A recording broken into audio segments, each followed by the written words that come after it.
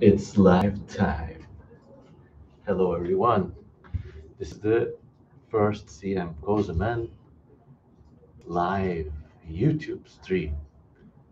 It's a very cringeworthy and amateur effort. We are live from secret control base bunker, Istanbul. Let me set this up a little. Well, you're just gonna have to contend with my balding face for the next hour or so. Hello, jackpots. Opinion on Morbius. David Gurola says Vulcan V. This is derived from a Hebrew letter, by the way. It's a nice piece of trivia. Okay. All right. We're live here at the control center, looking like a Kerbal space program or some shit. All right, nice, nice questions are already pouring in. Okay, so for, for one hour, I'll just randomly answer all the questions. Wow, we got a spicy question uh, already. Opinion on Atatürk. He was a great guy. Some would say otherwise, but then they have no interest in living in Turkey, I guess. Anyways, somebody asks, do you think artists can ever fill the social cultural niche occupied by shamans? The waning of shamanism has led to a toxic ossification of epistemic categories. Yes. In fact, I think the toxic ossification of epistemic categories was brought about by the so-called advance of modernity and metrics really help us advance certain parts of life, but uh, they also dry up other aspects of life. Now, artists, I don't know if they can fill the space left by shamans. I think actually people who occupy that niche are stuff like faith healers, clergy people, religious people, like religious ministers, uh, imams or priests and rabbis and so on. And also in communities, you get like lots of faith healers or like old ladies who kind of you know work this kind of public magic kind of stuff. I think those fill the roles of shamans more than artists. I mean, you could have a special kind of artist who's like completely destitute, broke, fed by scraps by the community, and then he or she can be the village shaman. But today's conception of an artist is uh, too different from a shaman. Fancy simp, you're literally my idol. Yaşa Cevdet abi, sen de. All hail the Arachnid King, yes. I can do my Arachnid King improvisation. This is the stream for the next three hours. Okay. Doomy asks opinion on Morbius. I haven't watched it. There's some memes about it. Grand Reddit Hotel. What a nice hotel is there? Reddit Hotel. How many rooms are there in that facility? Is the swimming pool disinfected? Hey man, have you ever seen Raised by Wolves? I've seen parts of it. It's by either directed or managed or produced by James Cameron, or no, sorry, the other guy, Ridley Scott. Good concepts there, actually. Like the whole deal with them, mother robot making the colonists. It's there was something similar in All Tomorrows. Doomy says heresy, lol. Hello, author from billions of years in the future. Well, I'm actually in the year of our Lord 2022, just regular guy talking from underground bunker in Istanbul. What else? What else? We got lots of nice questions. Okay, somebody asks, are you familiar with Ibn Khaldun's cycle of Asabiya? Uh, do you think his theories are relevant to modern discussions of societal collapse? Okay, this is a good question. Ibn Khaldun was a based uh, Muslim scientist who lived in the golden age of uh, the Muslim Caliphate basically his gist goes like you know the famous thing these days is going about? Hard men make good times. Good men make hard times. No good man makes no way ibn khaldun basically says first generation fights the second generation builds the third generation writes poetry or grows exotic tulips and then everything crashes comes tumbling tumbling tumbling down again basically. Now, a similar variation of this theme is very popular these days, especially among right wing groups. And they say hard men make good times, good times breed soft men, soft men make bad times, bad times breed hard men. All these men getting hard and soft all over again. On the surface, this is true. In some societies, you can really see this happening. I mean, I think if you study Ottoman history, you can really see this happening. They they ruled most of the known world, and then they stagnated. But their stagnation had to do less with the Ottomans' collapse, or like they didn't suddenly turn into soft men or decay. It's just the other guys discovered America, and there they had a whole um, access to a whole new world of riches, and against that, the Ottomans couldn't just compete. So on the surface, this Asabiya Ibn Haldun theory, on the surface, it's true. I think it's more true for families and dynasties rather than for states. I mean, you got many cases in everyday life where the first generation is like a hard studying engineer he pulled himself up from his bootstraps, built a big company, made a lot of money. The second generation, they're basically boomers. They enjoy fine wine. And they hate people who go to Walmart, or they they think people who who are too scruffy, you know, they're so unstylish. And then their kids, they're just doomed. So yeah. Another question. Okay, wow, I got many questions coming. I, I never thought this would be so popular. Fernando Kekatic says micro bullies. And this is so good. Micro bullies, everyone. Type it up. Let's see what kind of clout I got with my chat over here. Micro bullies. But you know what's better than micro bullies? Motherfucking toad bullies. So there's apparently a toad variety of these micro bullies, where they're like even more diseased they're all, I'm, I'm kidding you not, they're all the offspring of this one micro bully named Mr. Toad, He's, who's got all limbs splayed. So these toad micro bullies are even smaller. They got even freakier heads, and all of their legs are splaying about. God, I would buy one in a heartbeat if it wasn't for my wife, but she thinks they're superfluous. Maybe she's right. Grand Reddit Hotel says I'm more of a macro bully. Yes, and there are also meso bullies the whole spectrum of bully fauna. Victory Game says, Hello, Don Kosemen, love from California. Hello to sunny California. It must be very early up there, so thanks. Barack Obama too says, CM Kosemen, I'm sorry for invading Turkey in Heart of Iron 4. Well, it's just a game. It's my one of my favorite favorite parts of any narrative. It's this future dystopian kind of science fiction story in which they have got colonies on the moon and there's a nuclear war. And then the moon colonists, they're actually the bad guys. They built this incredible habitat with these low gravity animals and plants. And then when the nuclear war happens between moon and the solar system, the the whole lunar habitat they built is annihilated in a nuclear strike. The, our heroine is in the lower levels. She's hiding. But basically what happens is that she's hiding and there's like a, it's a nuclear and then technic, technician guy says, that's the dome gone, man. All our work. And then she's super cool. She says, it's just an artifact. So you invaded Turkey in Hearts of Iron. It's just a game. Okay. Jackpot says, earlier this year, scientists uploaded an entire silicon worm's body into a computer, cells and all. If it then proceeded to act the same as a regular silicon worm would, do you think that this is life? I don't think it's life as we know it, but it's a representation of life that's so advanced that ethically it's the same thing to kill that as it is to kill a, a living organism.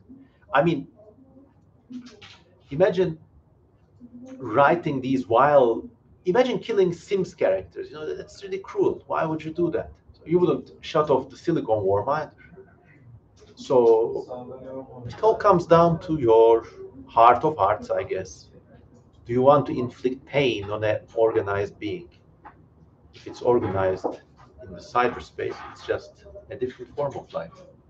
I mean, it's just a different form of ethics. How responsible are you for life? How how empathic are you? Doomy says, oh, Mihuhito says, reptiles or amphibians? Well, reptiles, it would have to be. I love lizards. Though amphibians are really, really sophisticated too. And I think there are more species, or I don't know. The amphibians are really crazy. They metamorphose. I mean, they start with like little tatar, they would say. And then they grow into quite advanced macro scaled tetrapods. Okay, so since this is the so social collapse stream, let's answer some social collapse related uh, questions. But I have to warn you, it was just a marketing gimmick so that more of you would come to watch. Okay. So, Kosemen, is it possible that a society trying to control itself too much could lead to its collapse? It's possible. Depends on the means of control. I mean, looks like our society may actually avoid social collapse by implementing rigid forms of control mediated by digital technology, a police army state indistinguishable from an occupying force. And it's really, really difficult for such a strong, strong structure to be brought down by any force, within or without. All right, let's look at it. Grand Reddit Hotel asks, what's your opinion on cryptocurrency and other speculative investments in brackets? When I see people make millions of dollars off the new trendy investments, I can't think help but think of the tulip bubble. You're on right right track, I think. Now, okay, this is not investment advice, but even today, I just had this debate with my conversation with my wife earlier this week. Even today, we value the worth of Bitcoin with dollars. Said, ah, Bitcoin rose, it's X dollars. Oh, Bitcoin fell, it's Y dollars. Still measure it in dollars. Your mind still keyed on dollars. And cryptocurrencies, if I could pay this internet cafe experience with it, maybe, maybe, I don't know. As a technology, it has some merit, but I think it was one big, uh, how do you say, wild goose chase. And I mean, this is not advice, but personally, whenever I had meager savings, I invested them in gold and currencies of various stable countries. Swiss francs are a good bet. Cheeky Monk asks a very important question for social collapse how many cats are necessary to survive a recession? Okay, so for this, you need to have a series setup. You need to have one chunky cat who's extremely fat and round, and this is the cat you beat on, and you call the police on that. Then you need a very small cat who's like from the corner, and he goes like this and chews on your cables. And then number three, you got a you need a stone cat who always looks like this with this kind of saliva coming out. So if you get if you acquire these three cats, not even Ibn Khaldun's collapse can touch you. Matilda Duff says, I give it 10. I don't know what you give it to, but give it all, sister. Morda Endergon says, Memoson, have you watched the melancholy of Haruhi Suzumiya? I don't know what that is. I'm just going to have to Google it.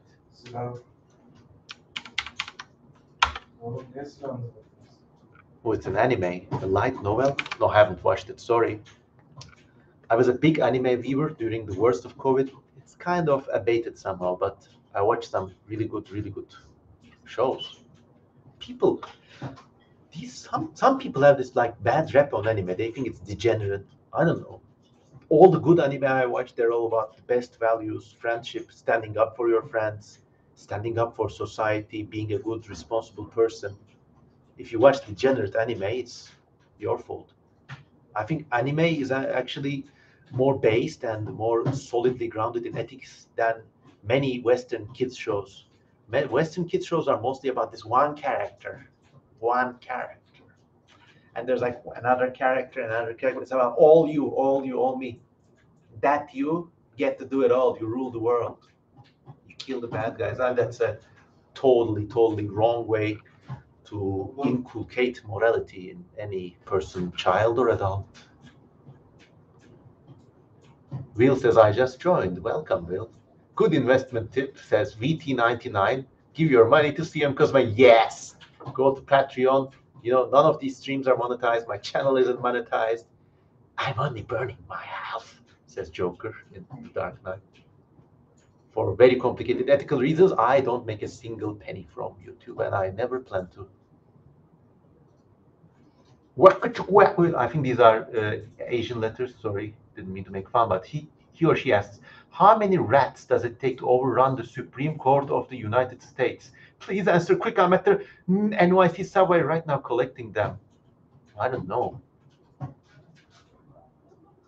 You need rats and you need the three cats. Go get the cats.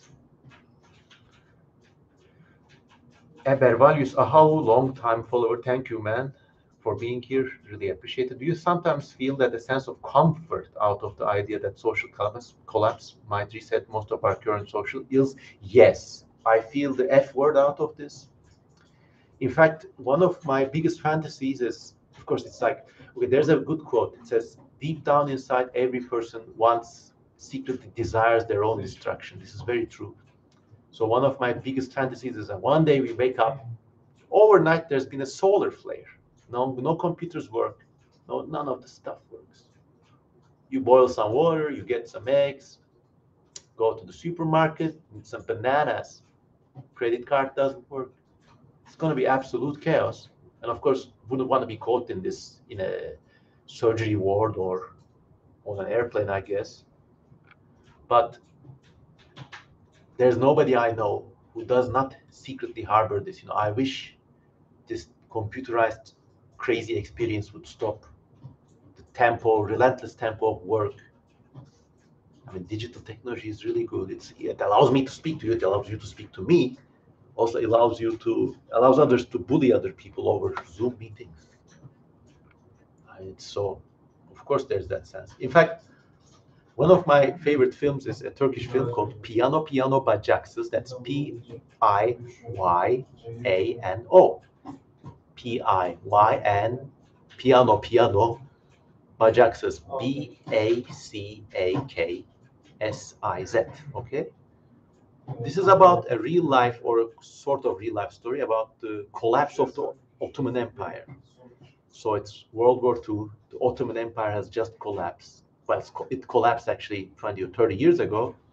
World War One came and went. Turkey lost millions of oh. people. Horrible experience new generation was raised. Now it's World War II. There is famine everywhere. Everybody's impoverished.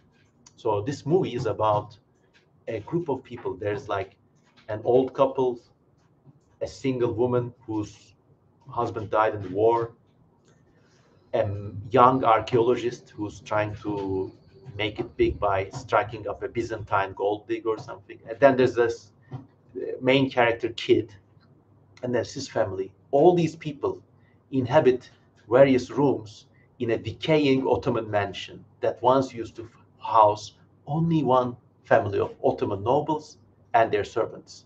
Of course, they fled or died, but now all these people live in these rooms of this house. But the house is so big, it's falling apart. And it's like a village. Each room is a house kind of thing. So these people are, you know, living the bittersweet, bittersweet life.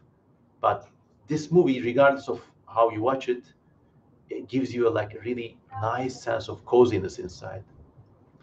So I think if so, like to set one thing clear, I don't think social collapse is going to be like a demolition man or something. It's just going to be gradual lowering of life standards. Like right now, we can't afford to travel outside of the country.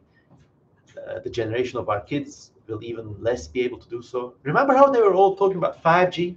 5G networks setting up. We need the budget to set up 5G. What what now? UK, you need heating more than you need 5G. All these futuristic plans sort of uh, slowly are being put into the back burner. This is the kind of social collapse. One decrement per generation. And suddenly, three generations later, everybody's shelling out to share one apartment somewhere and everybody's hustling, trying to make ends meet meat as long as there's a there's food on the oven life is good as Atatürk used to say Toroslardaki en son ocak sönene kadar Türkiye bahtiyar olacak. Okay, let's take more questions. Barack Obama, pro Toad, says, man, the whole world could collapse at any time. I guess so. There's a good question by Grand Reddit Hotel.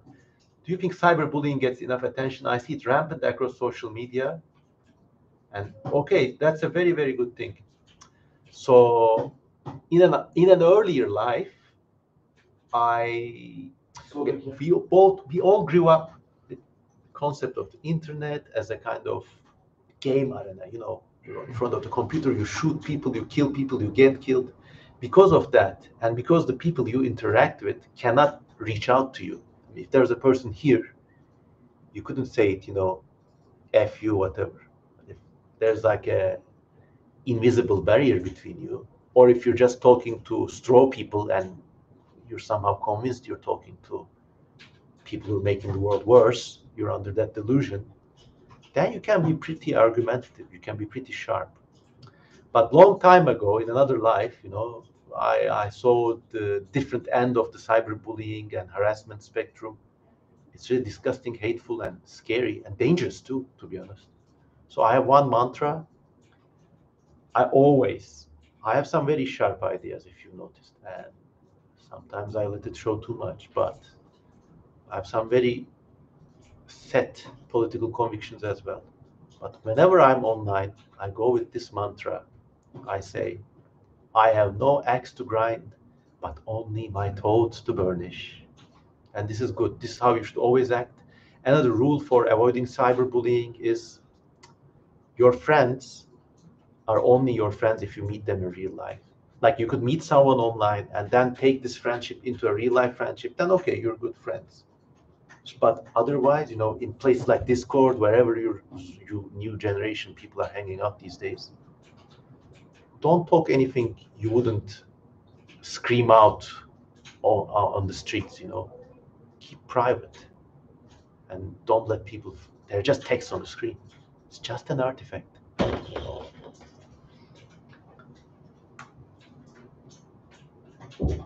Nico K asks a very good question. Yo, yo, yo, CM Kosemen. Yo, yo, yo, Nico Filemu. Uh, what lessons can the study of ecology teach us about culture? Can ecological thought help avert social collapse? Good question. Okay, so it's a bit, I don't know. I mean, certainly ecology teaches us one thing, and this is how important food security and water security are you know, everybody, everybody in the last 10, 25 years thought about making it a digital country, digital friendly country, digital native country, digital country. You neglected farming, you neglected, but the US didn't. Americans are very, very smart. The British neglected farming, and most of Europeans did too. Well, not, not all Europeans, but most European countries too the United States has is, is really like God's chosen land on earth. They have got all the food that you know they need for the next 500 years. Some other countries did. They were even like more foolish about it. They thought if we tech hard enough, if we invest hard enough, all the people will come in buying and selling products and services, earning the money. You can't eat money. So that is one way ecology can help you. All Olzas asks a very personal question. Are you atheist, Mr. Kosemen? If you asked this to me 10 years ago, I would say, yeah, I'd be a fedora wearing internet atheism. Because like 10, 20 years ago, it was a big thing, you know. People were wrongly convinced that the internet would lay out all the fallacies of religion people would suddenly act very re regional. People in the Bible Belt or like oppressed members of other religions. Oh, my life has been a lie. Let me go to the big city and buy and sell products and services. That didn't work out that way. Sure. In fact, I think technology has given religion a new lease of life, but it's going to mutate into a form that even the previous adherents of early religions will find heretical personally, I think the world we inhabit is the mind of God. I have some very unrational and unlogical personal convictions in my heart of hearts, but you'll never get to know that.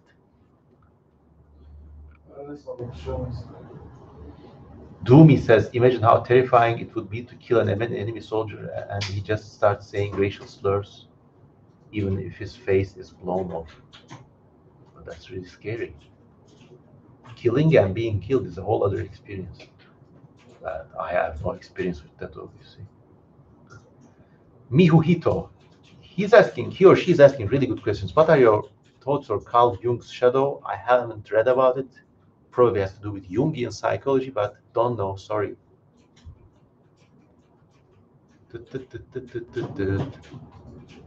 Zeppelzak asks, what movie universe would you like to develop extended lore in? Star Wars, obviously. Even, even at the current state, it's been like, you know, defiled, violated. Even in its current state, it's got some really nice tear-jerking moments, Star Wars. And soundtracks, the spaceships. I would love to develop the Admiral Thrawn trilogy. If you don't know what this is, it's an extended universe thing of the Star Wars universe, obviously. So there's a whole series of, of novels about this very elite, cultured, alien imperial gentleman. Mm-hmm. He's part of the Empire. He's one of the bad guys, but he's super cool. He's got blue skin, red eyes, and he's super cultured and super artistically savvy. And he's a grand tactician, Grand Admiral Thrawn. I would love to develop that series casting, concepts, characters. Go find those novels and read them. Admiral Thrawn. Nico K asks, take that back. Mesoplodonts are the face of God. True. If you have jawline going like this and these teeth somehow encircle your head, kind of look like God already. Eber Values Ahav asks, are you a fan of komboloi? I heard they're popular in Turkey, like Byzantine fidget spinners. I don't know what komboloi are. Must be a Greek word. Let me Google it. Oh, these are the worry beads. Christians have them, Muslims have them, even I think some Judaic sects have them, or even some uh, other Abrahamic religions, such as the Druze, also have them. They're, I think, a Levantine thing, worry beads. Personally, I have a tick when I see a disconnected button or a little bead or a little coin or something, I, I start feeling like I'm going to throw up. So I cannot touch jewelry or beads or anything. That's my thing. But uh, like a lot of old gentlemen here wave them. Sometimes you get these like sharky traders who got like these worry beads made out of precious gems and they try to sell them for enormous prices, like as expensive as some watches. Matilda Duff shares a spider icon. Yeah, of course. There's a war going on in my comments about what is the face of God, spiders or mesoplodonts? How about I say arachnodonts? Imagine mesoplodonts with chelicera and eight eyes. That's a face to behold. Uh.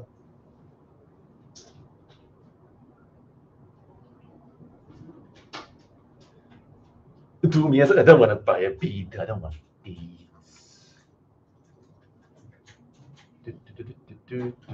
More questions, more fresh questions.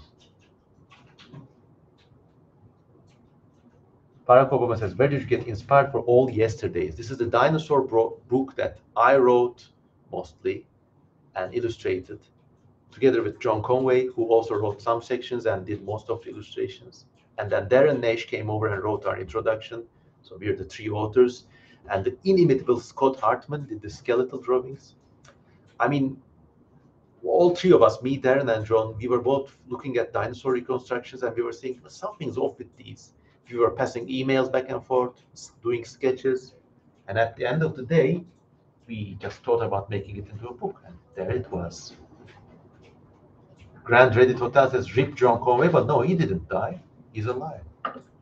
If you're talking about John Conway, the mathematician who wrote the Game of Life, he passed away recently. Great loss for the community. Jose Leon asks, would you like to live for 1,000 years in the future, knowing you would see everyone you know pass away? That's very sad. I would still say a hard yes to this. But, you know, at least make my wife immortal too. Mm -mm -mm. Yeah, man. Hello to all spiders masquerading as humans.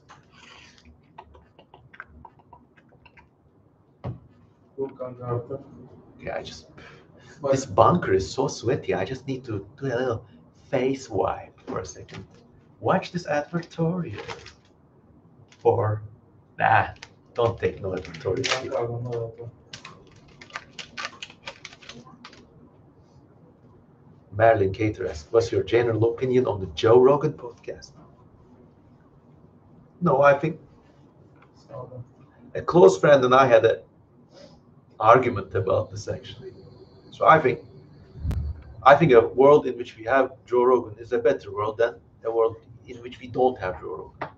He's a curious guy, came from a different background, and he's got interesting uh, listeners, interesting uh, speakers. So and he's racking in millions of views. So he's extremely successful. Must be doing something right, huh? The only problem I had with him was like during COVID when he was like, I threw the kitchen sink at it. Monoclonal antibodies, man, this kind of got stuck in my mouth too. He took all the monoclonal antibodies, vitamin C drip, he took the microbullies. And this was irresponsible. Millions of people were watching him. And it was very easy, very easy for him to say, you know, hey, just in case, get vaccinated. And as in Turkish, as we would say in Turkish, vebaline girdi. Yani o kadar insanın ölümünde senin de vebaline geçti bunlar. Oldu mu şimdi? You know, he did wrong there, but overall he's he's a great guy. I, I like him. I, I mean, there is no. I mean, remember when you when you're talking about public personalities, personalities, e- except for people who are like extremely egregious, like that guy who bought the AIDS drug and hike the price up 6,000 times or something, except for people like that. Genuinely bad people are very rare, as rare as genuinely good people. So, so is people, uh, not only people always have a gray area, people are a gray area. And it's, it's always very good. Maybe it makes you less edgy, less cool, or less interesting, but it's always good not to pass off harsh judgments for better or worse. Mm-hmm. Are you still selling paintings, perhaps on Patreon? Well, if you go to cmkosemen.com, go to the art section. Most paintings there are for sale. Email me. Do you think that the. United States will become an oligarchy or is it one? Oh, oh, oh! In Turkey, say, good morning, brother. It's already an oligarchy. The whole world is an oligarchy of oligarchies. Buraya da ZCESD35 asks, what's your opinion on the paleo art for Cambrian animals? Good question. Well, I got a pet peeve about Cambrian animals actually. Except in very rare cases, we just don't know what they look like. We see a blob, but trying to reconstruct it minuscule in minuscule ways, unless you have like dozens of specimens, it's very hard. And especially for things like Opabinia, for example, you know, the five-eyed creature with long trunk, snip snap. I, maybe it didn't have five eyes. Maybe the fifth eye is just a nerve ganglion. People are always so cocksure about their Cambrian animal reconstructions, very sharp lines. But maybe a better way to reconstruct them would be this, like, big blown out impressionist painting. So when you actually shrink it, all the details are there, but in a kind of impressionistic way. So, like the fossils, some things are not quite clear. Ah, it's so sweaty in the bunker. Oh, it's almost been an hour already. I'm not gonna call it quit at quits at an hour and a half. So we started at okay at 22:45. We're gonna call it quits. Fernando Cacatrix asked Greek Pantheon, Greek Pantheon versus the Norse Pantheon, Pantheon, which wins in an all-out battle? Greek pantheon is mostly derived from Anatolia. Actually, I'm reading this great book about. It's called "The Land of a Thousand Gods." I should remember the author, but I don't. Let me Google it.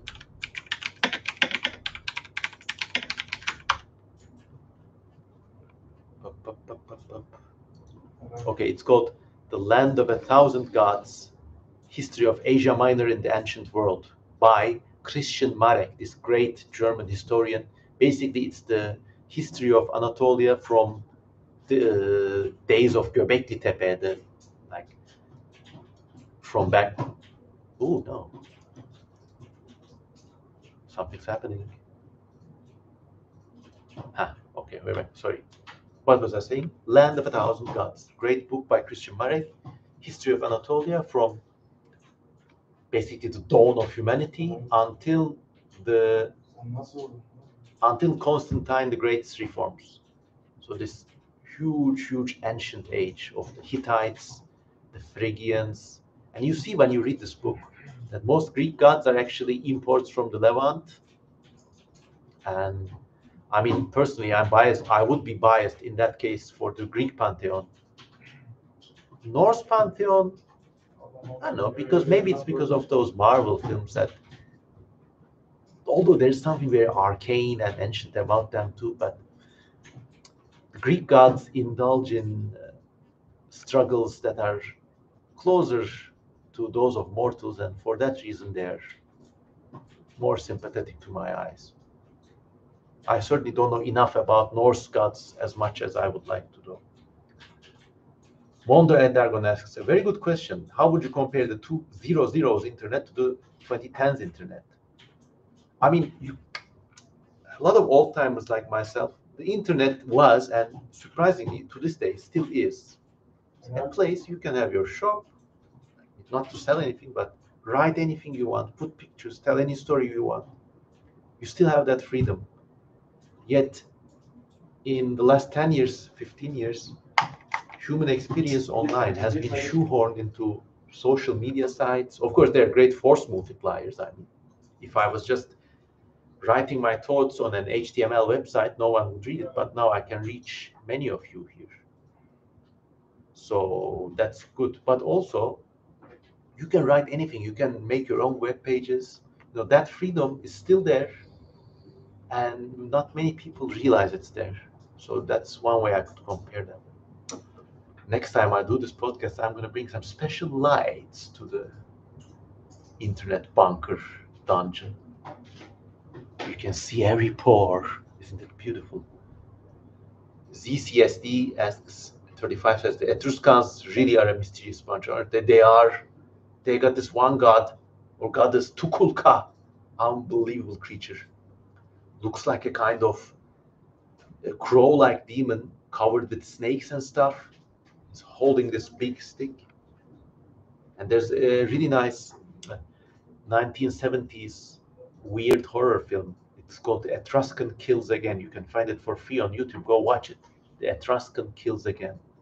Great film. And the Etruscan tomb paintings, they're unbelievable. They're very sexually explicit. And there's like scenes like two guys are, you know, hanky panky, and then Tuchulcha, the demon, comes to kill them. Maybe it's humor i don't know. Or maybe i don't know it's a warning. I don't know. Nico k asks spider will soon evolve into a whale. Yes Matthias Garay asks, can you be good on two arts or should you just focus on one? It's a very hard question. Some people have God-given talent and they're just good with everything. I think the arts mainly split into two forms time based arts and space based arts. Time based arts are things like sports, music, performance, dance, whatever. Sports is a time based art too.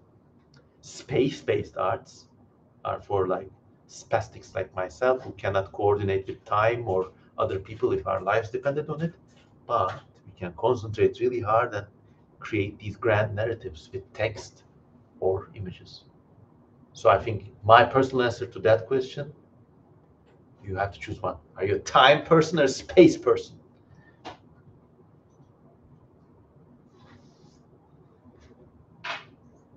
friend asks, Hey, what time is it for you right now? It's 10 o'clock in the evening, 2208, night time.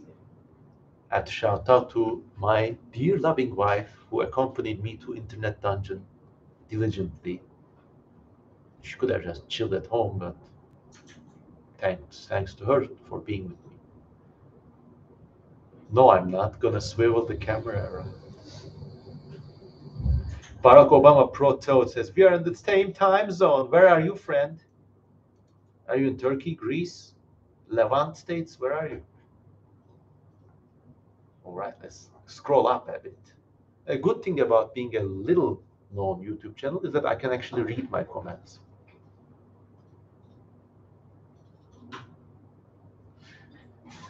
ZCEST35 says, what are your thoughts on the general idea there will be a demographic collapse? Could it contribute to social, social collapse? We are having a demographic collapse already. Like we're not having kids personally. Many people are not having kids. And to grow the population or to sustain it, you don't only need one kid. Many people I know have one kid, two parents, everyone is working, everyone is going crazy in an apartment building. But that one kid going to grow up, it's going to be a little lonely. I mean, you need to have three or more kids so that the society sustains itself. I mean, not society, but the population sustain themselves. So wherever, and this is not just common to Turkey, it's common in every quote unquote civilized world, the civilized part of the world, that you can see the population stabilize, uh, start to drop.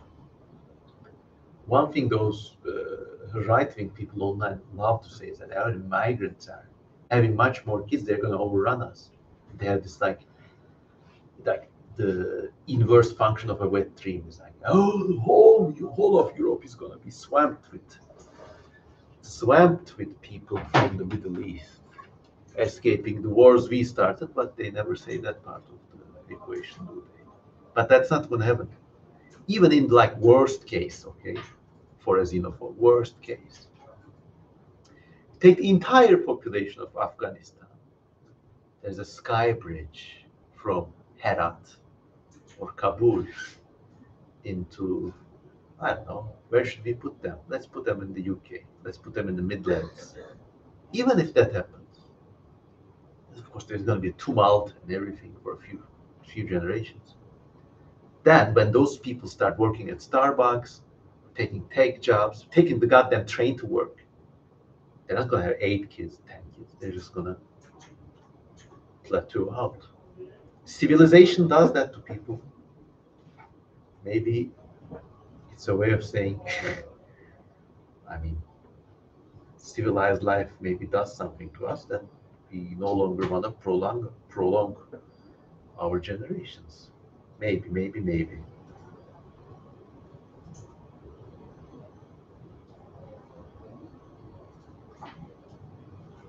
And I'm just looking at questions. In your opinion, what would be a superpower that is weak but versatile enough to become overpowered? Overpowered as in like regionally strong, I think.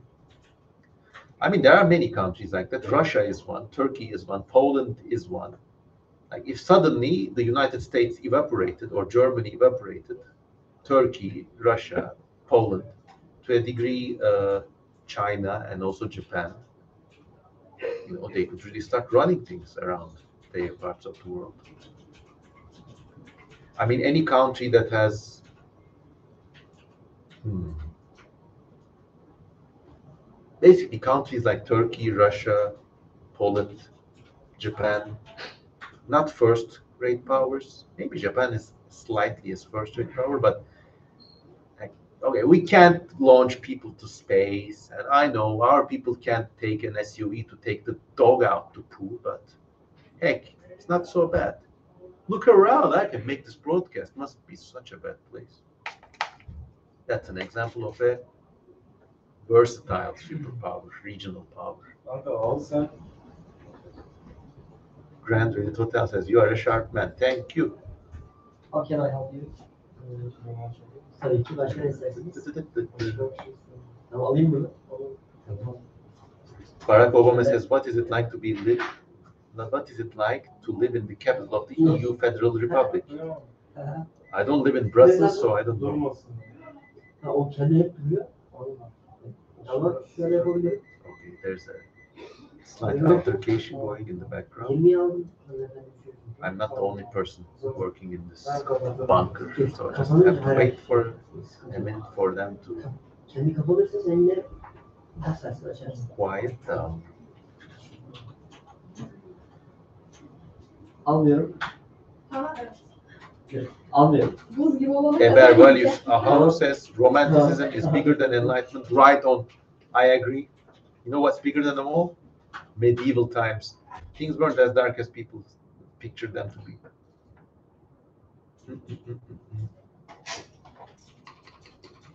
Oh.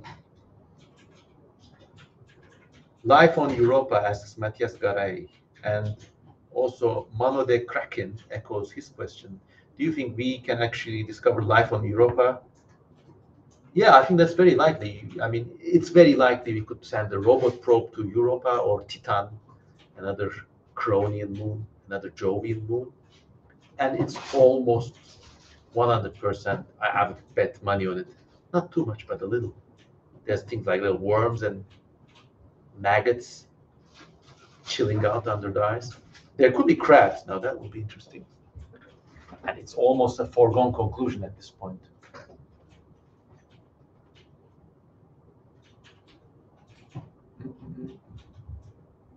Ooh, so the question, previous question about superpowers, regional superpowers, was about super strength, vision. I don't know. I don't know.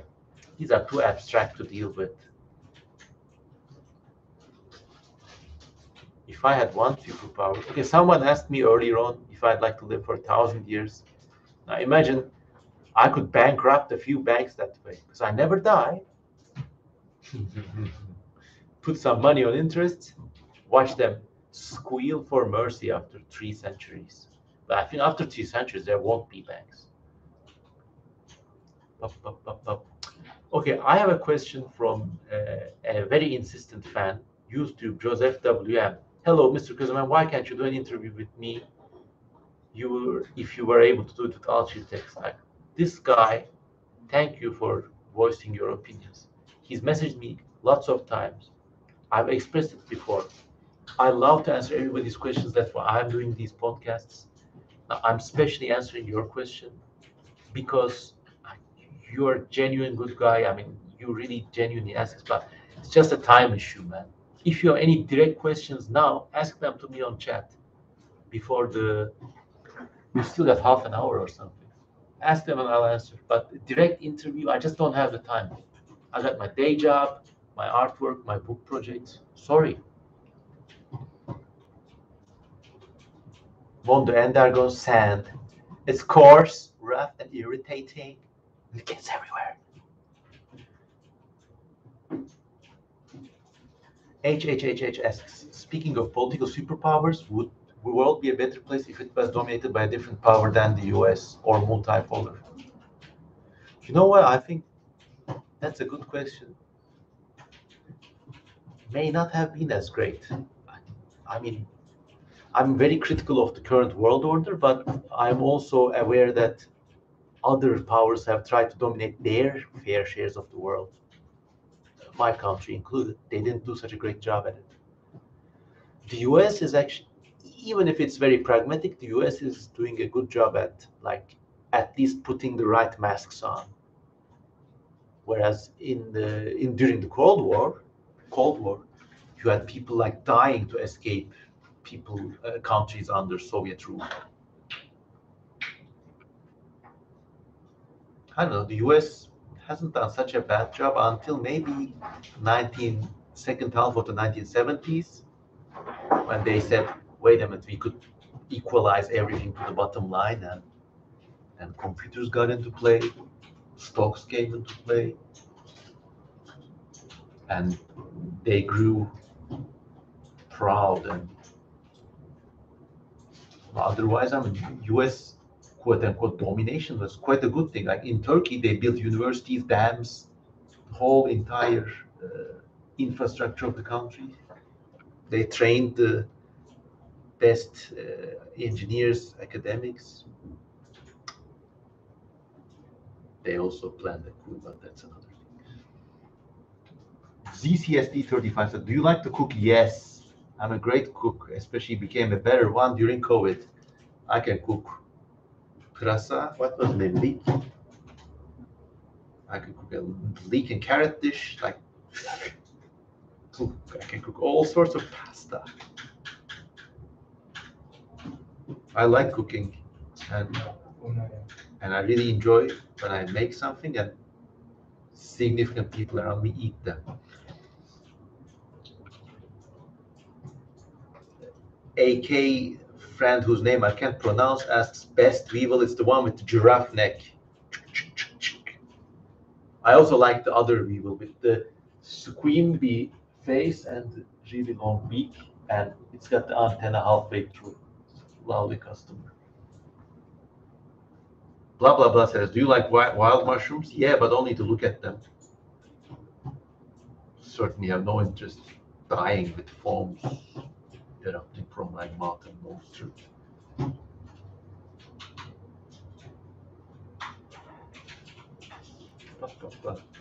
Mondo Endergon says, the Honnêamise movie has always reminded me of the time when humanity escapes. So it's a great movie. Wings of Honnêamise. They actually designed a, a, a life on another planet, a human life on another planet or the future or something. But everything is redesigned. Things like clothing, doors, windows, they redesigned every article you would come into contact with life, in life. It's a great anime. Strongly recommended. Who got the hiccups? Wings of Honnêamise. How do you spell it? H O N N E M A I S E. Yes.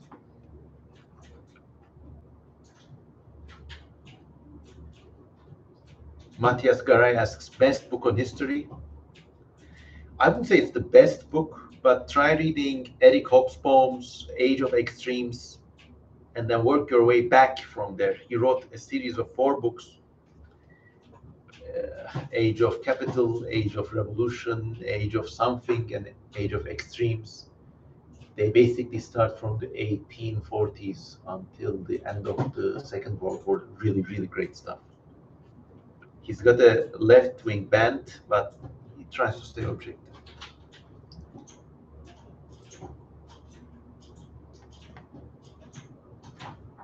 Nico K asks, the medieval period is so underrated, true. We just don't know what happened there, but a lot of quote unquote medieval era where they gave up on the so-called advancements that people had during the Roman era was actually people getting sick of the Roman way of doing things or the Roman projection of power. They said, okay, we're going to do things a different way. Like the way they experimented with religion it started out as pretty regressive. I mean, the early Christians, phew, you think those people smashing the Buddhas in Afghanistan, you think they're iconoclasts. You should have seen the early Christians. They were wild, savage. But then they evolved it into like, I don't know as much about this as I should, but people like Thomas Aquinas, all those medieval Christian thinkers, they really took it to strange places. They established the university system we have. They also borrow, borrowed a lot from the Islamic from Islamic civilization, especially the part of it that was active in Spain, and then they pretended like it never happened.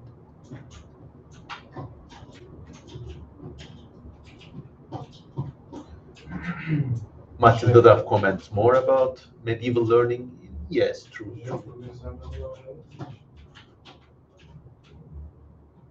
True. HH asks a good good question, spicy question. You said you're very critical of the modern world order. What do you hate the most about it? I guess over technology technologicization. Actually, no. I, what I hate most about it is the uh, over contextualization. I always tell this story. Okay, I was out with a group of artists and nature people in a nature excursion bird, there are some bird watchers in the group. I said, oh, look, there's an interesting goat on the rock. it's not a bird, I'm not interested. What's this? Are you some sort of insect? I get insects are in every aspect of life, from education to I, I, I read this comment somewhere. Basically, like someone was complaining that people should not tell children stories unless they have a pedagogical license or something. This is just so wrong, it's almost indistinguishable from pure evil. You need a license for that. You think if you raise your kids that way, your kids are gonna be like sorry, but they're gonna grow up to hate you. License for this, a way to do everything. Uh, What I dislike the most about the current world civilization is their pitiful, pitiful vain attempt to break down everything into a drop-down list. You see it in every part of life. There was these, these famous cases a few years ago in Britain. A girl was selling lemonade on a stand, and then taxi inspectors actually fined the poor girl and her family. Doesn't have the right papers. These things, laws, taxes, education, they are like the container which we need. We need someone, we need them to a degree. They're like the container we need to hold a bottle of water, some disinfectant or some cologne. But in the present day, this container is this big. Everybody is forced to carry it on their back. There's 60 different buttons you need to press, and it only gives this tiny drop. I hope you got the metaphor for this.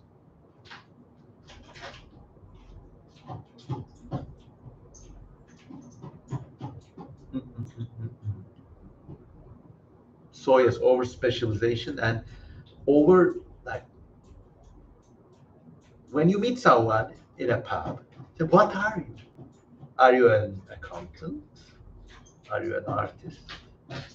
Are you a person who manufactures these gray panels? Are you a person who's selling in the business of selling this? The reduction of people to their vocations. Not going to take us anywhere for fun, let me tell you. And then technology, technologization or techno, extreme technology, extreme legal hurdles, they all stem from that kind of things. Matthias Garay asks, do you play video games, Kosemen? Ray Bradbury said video games are a waste of time. I used to play these sandbox games. Pharaoh was one of them. I love them. SimCity 2000. I also used to play Spore a lot. You design these creatures, but in Spore, I always never advanced below beyond the creature stage. I always remained a creature, ran around being a creature. I'm glad I wasn't born in this generation uh, then I would be playing these realistic milsims non-stop. Games like Squad or Arma Reforger. I love watching them. Like the nights, my wife, my wife was asleep. I sneak out of the bed, turn on the TV, pop an Arma Reforger video, and then drift off into dreamland. What I like them about is what I like so much about them is not the sense of reality, which is also great. All these like I also like that in these games, if you're like, I have a brother five years younger than me. Like all big brothers, I like picking on him. So he used to be he used to be really big into these like battlefield or like Medal of Honor kind of guy. Boom. He'll be that kind of guy. Ah, you go wo- win World War II all by yourself. In these games, games like Arma Reforger or Squad, all these bright young people, they're cooperating. They say, section one, take right, section two, take left. Okay, fan out, stay close together. They're cooperating. They're learning to like hold themselves. And It's great, great games. And, and this kind of gameplay, I think it's the makings of a good person.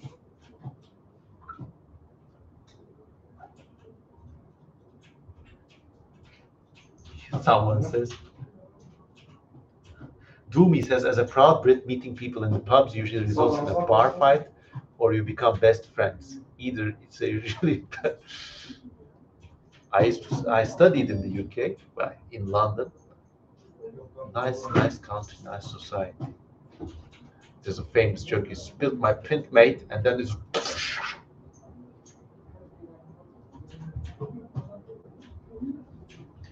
Nico K asks, fact that I may have accidentally driven a CM Kosemen creature to extinction and spore will haunt my dreams forever. It's just a game, man. How long have we been? One hour. Um, Yeah, one hour. 15 more minutes, then call the night. Oh, it's really nice, everyone. Really nice chatting with you all. So slowly, let's go into the Matthias Gray says Subnautica is an amazing game on an alien water world. Yes, one of my online friends, Alex Ries, was the designer for that.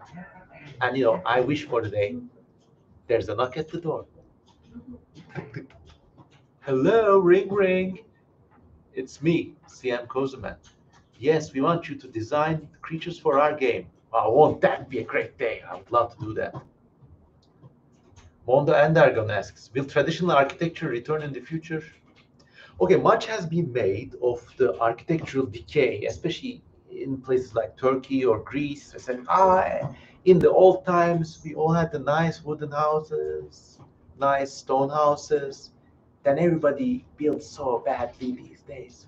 Well, if you'd gone back to the old times and given those people ready fried bricks, uh, ferro concrete, PVC windows, they would make very similar and, in your perspective, very ugly buildings.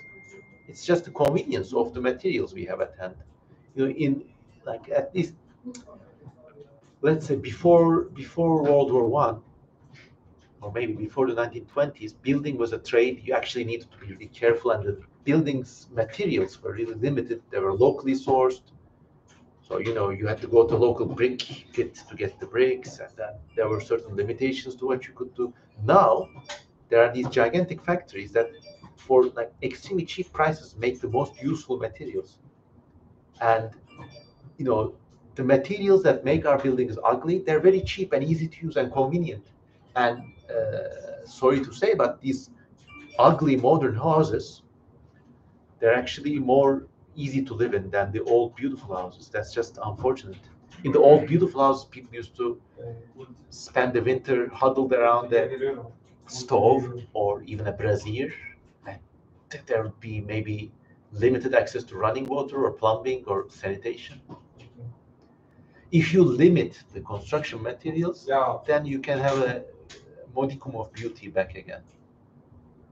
I would rather live in a ugly city where I could afford a house, though. I don't care. Like, is are, are any of you from the Soviet former Soviet countries?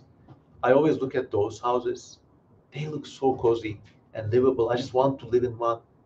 You know, retreat into one, decorate the f out of it, have my bookshelves, little drawing table. But of course, I haven't lived in a former Soviet country. How was life in those houses really? If you can write to me in the comments, you know, I would have learned something.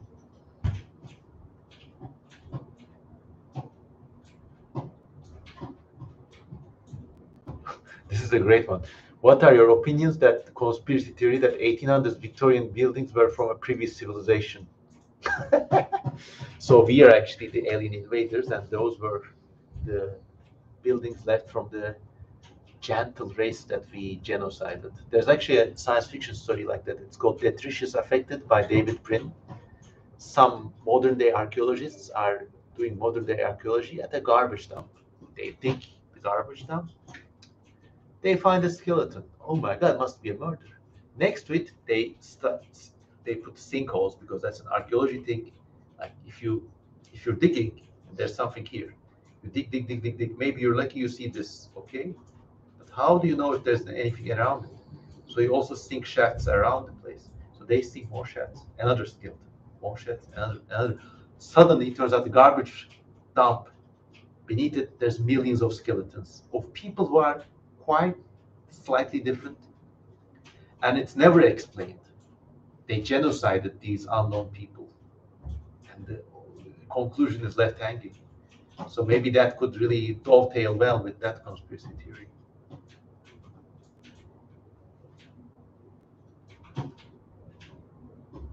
I don't know the Tartaria theory. I should look like you teach me something new every day.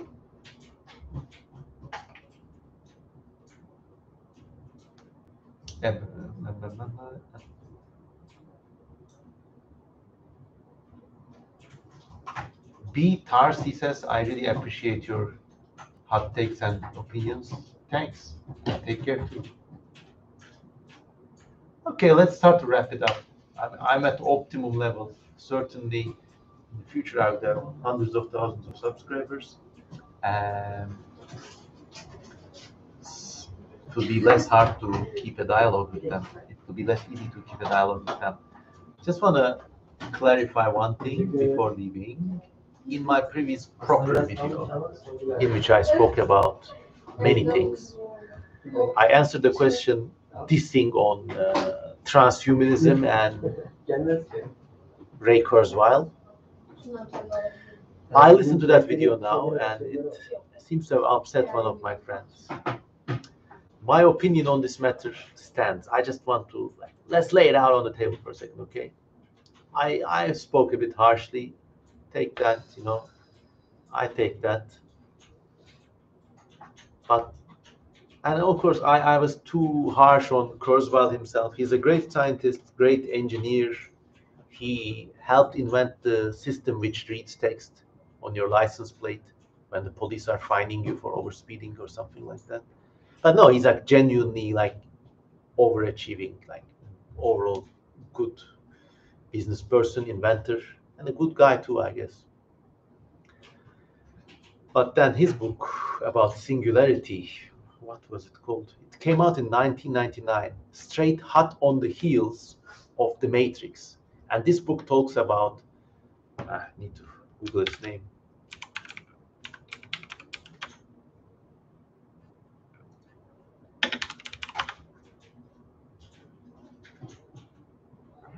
One second, please.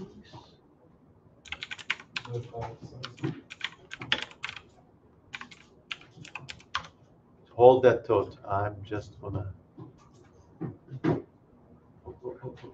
What was it? The spirit of the machine or something? The Age of Spiritual Machines. Okay. Okay, so this book came out in 1999, and philosophically, it's very wrong. I mean, he looks at everything in an accelerating curve. He, he, he could be great in any other aspect. And, you know, maybe it's not up to me, you know, a Turkish Levantine quasi-Judaic hybrid with pesky YouTube channel to diss somebody as successful as that. Okay. But we're in this book, basically transhumanism in general, this is my opinion, where the wheels hit the road, there are many disconnections. We still don't understand the human mind. We likely never will. So we're never going to develop a true interface between the mind and the machine. And a big critique I have about uh, transhumanism is this thing. There's no way around it, you know. And if you upload your co- copy to a machine, okay, maybe there's some sort of satisfaction, you still end up dying.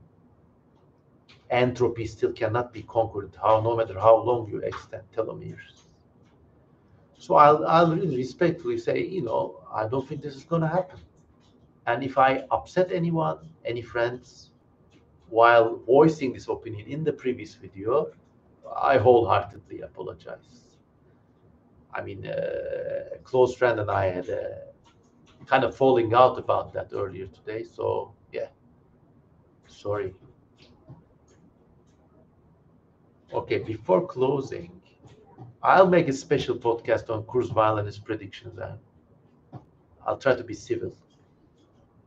The book's name, David Gorola asks, is The Age of Spiritual Machines, which came out in 1999. I mean, the, the present day, Yuval Harari is like that too, Sapiens. Eh? A couple of years ago, oh, oh, oh, everybody was reading that too. Okay, so there's this underappreciated fact in life in general. If you're a successful somebody, you reach a level in which just money or business success is not enough. You need to achieve a higher kind of goal. Like Bill Gates, he's trying to develop new toilets for the world or new vaccines. Or like Elon Musk's, he's trying to be loved and admired. So this transhumanism theory was Ray Kurzweil's attempt to, to move past the limitations and the ennui caused by being a really successful American inventor. He wanted to do something more. He wanted to leave a mark on the world. He did. He came up with a philosophy, and this is also PR, by the way. It's not coincidence that in the same year, Age of Spiritual Machines came out. The Matrix came out. He dovetailed on that. He, he was riding the coattails of this whole discussion about cybernetics and all that. So PR is like, let's say, three fourths of everything you hear about science is PR. Never forget that. Okay, let's go.